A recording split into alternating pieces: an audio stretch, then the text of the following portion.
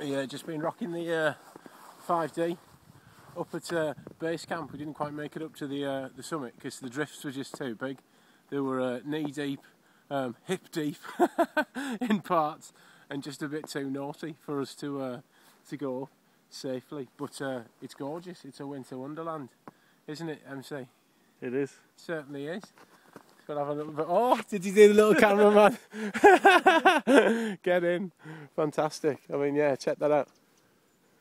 Lovely. Birds are out doing their thing.